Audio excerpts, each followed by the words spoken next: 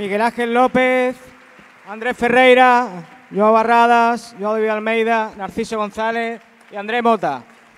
Muchas gracias a todos. Javier Alcántara, gracias.